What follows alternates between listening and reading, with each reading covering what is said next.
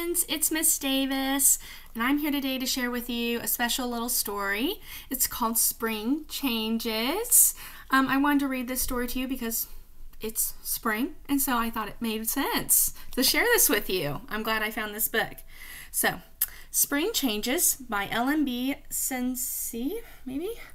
And I have permission to read this from Scholastic. Spring Changes. What's one of the first signs of spring? Pussy willows. You know spring is coming when you see their soft gray buds pop out into the chilly air.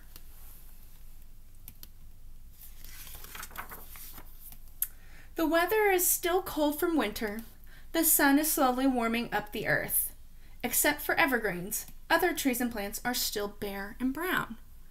Daylight lasts longer and longer.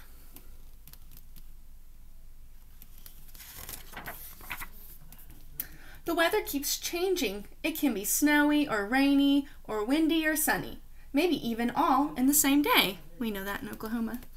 Snow melts, rain falls. There is mud and dirt everywhere. It's kind of hard to see in this picture, but this little boy has a clump of mud in his hand. Looks like he's going to throw it at somebody.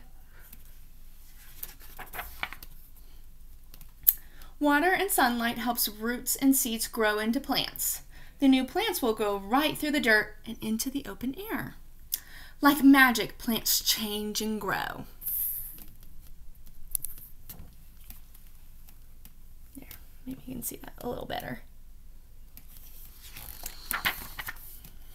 Leaf buds push their way out of woody branches. The buds unfold slowly into bright green leaves on trees and bushes.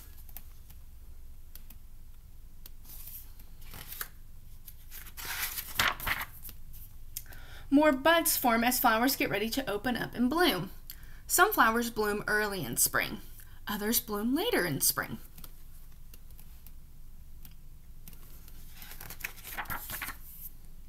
Soon the spring air is warm and inviting, and many flowers open wide to the rain and sun.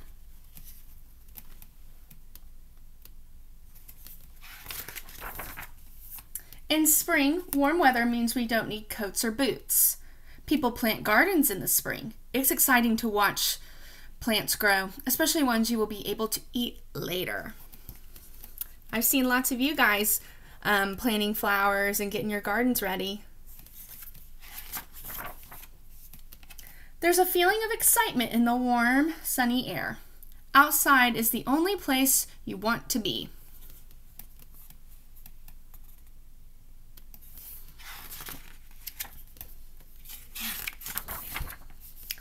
Look around. Living creatures are suddenly everywhere.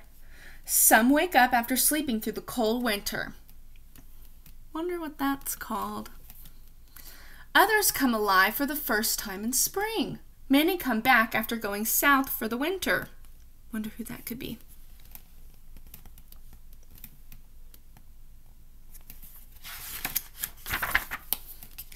Many baby animals are born in the spring.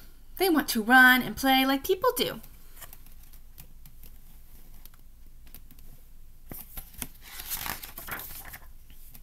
People celebrate spring holidays. There's Mother's Day and Father's Day. Some families celebrate Passover or Easter.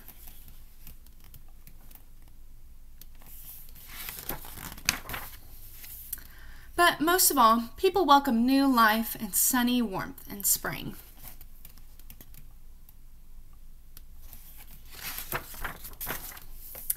Look around and see. Spring changes are everywhere.